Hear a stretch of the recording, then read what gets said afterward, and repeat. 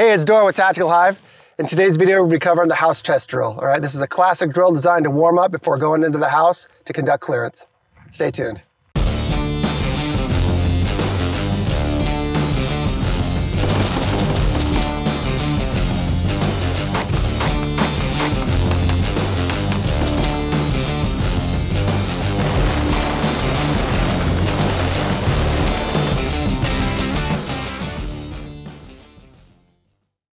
Hey guys, we're back. Today, like I said, it's all about the house test drill. So the house test drill was developed um, quite a while ago. It's a bit of a classic drill.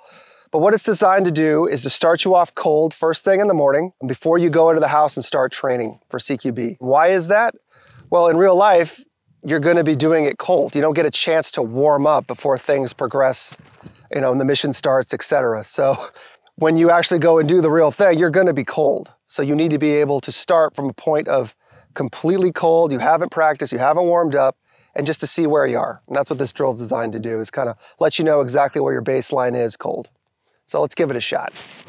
So how you set it up is you want a people-sized target, maybe a head and a torso, doesn't need to be. Uh, back in the day before they had Gucci targets, they started off using three by five cards as the acceptable bullseye. And then when that got old, they shrunk it down to playing cards. So if you don't have access to good range targets, it's okay. You can just DIY, do it yourself. Just get some paper, draw out a uh, silhouette, and then go ahead and put targets, stick targets onto there with spray glue. You can trace them with Sharpies, whatever it is you need to do. Today we're just gonna use this standard target I found laying around the range, and I stuck one of those uh, nifty sticker targets on there just to show us where the impacts are. Once you got your targets set up, these things, you go ahead and start off at the three yard line. Go ahead, lock and load both weapon systems eyes and ears, and you're ready to go. So it doesn't matter where you start from. It could be the high ready, it could be the low ready. Just, I'm gonna go ahead and start at about three yards. And just nice and easy, I'm gonna go ahead and land my shots. Two to the chest, one to the head is, back then that was kind of standard training, but you can go ahead and vary it up any way you'd like. It doesn't matter. So I'm gonna go ahead, just punch out. And go ahead, and just give it two to the chest, one to the head. All right, go ahead and reset. If I wanted to throw in a transition, I could. You can do it either way. With a transition, I'll go ahead and just send two shots. So I'll go ahead, send it, transition, just like so. Bring it back and go ahead and reset. All right, that's three yard line. Let's back it up to the five. All right, so backing it up to the five, and something to keep in mind, you know, this is combat shooting, this is close quarter shooting. Yes, you need to guarantee every shot you take, but it is okay to be a little bit faster. Your, your groups can be a little bit wider. This is not bullseye shooting. This is not precision shooting. This is combat shooting. But at that being said, you, you, know, you definitely want to make your every shot count. So keep in mind. So from the five yard line, going to start from low ready. Go ahead and, and drill. So, come on ahead, go and throw in a transition. Go ahead and pop up. Different. Just like so.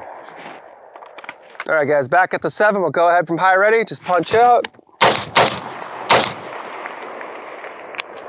Like so. We're gonna throw in a transition.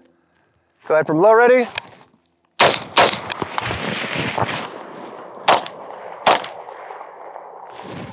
So. All right, go ahead and see what we got. 10 yard line.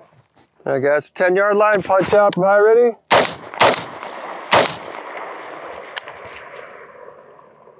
Or with a transition. Let's go ahead, just punch out, take shots.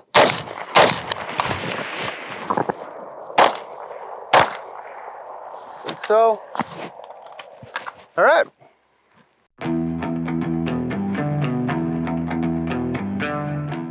All right, guys, so that was the house test. It's a classic drill designed um, probably the better part of 40 years ago from the guys that were kind of figuring out CQB and how it was all going to work. It's designed to be done first thing in the morning when you're nice and cold. And let you know kind of worst case scenario where your shots are gonna be. Uh, I definitely had a couple, for the most part, they're all in there, but did have a couple outliers down here with the, the SIG. And then, yeah, one low, and I mean, the rest of them are pretty much in there. You know, not my best by any stretch, but again, designed to be done cold first thing in the morning, kind of get your bearings. Obviously, the more you practice it, the better you'll get at it, but it's really that first iteration, that first time at three yards, five yards, seven yards, 10 yards, 15 yards. If, if you want to go back farther, that's great. Lets you know exactly where you're at and hopefully will help you pick and choose what you need to work on throughout the training day.